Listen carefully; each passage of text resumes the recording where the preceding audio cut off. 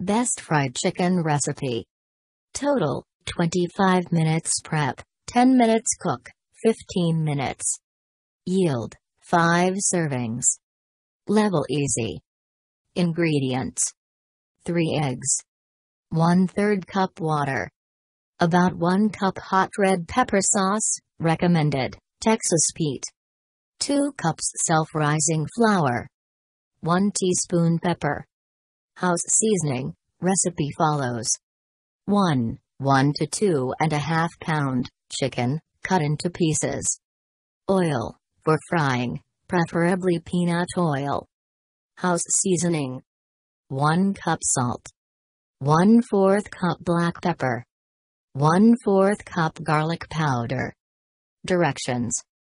In a medium-sized bowl, beat the eggs with the water. Add enough hot sauce so the egg mixture is bright orange. In another bowl, combine the flour and pepper. Season the chicken with the house seasoning.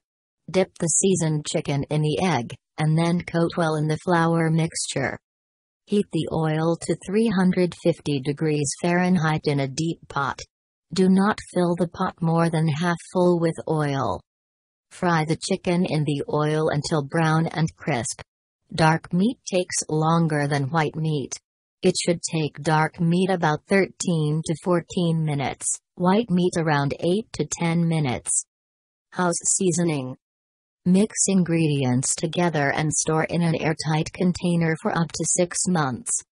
These these best fried chicken recipes are super simple and quick for those hectic weekday meals.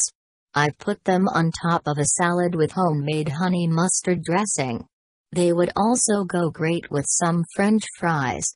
The variations are endless.